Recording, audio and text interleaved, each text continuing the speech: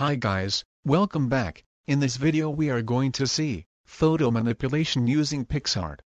Let's start editing.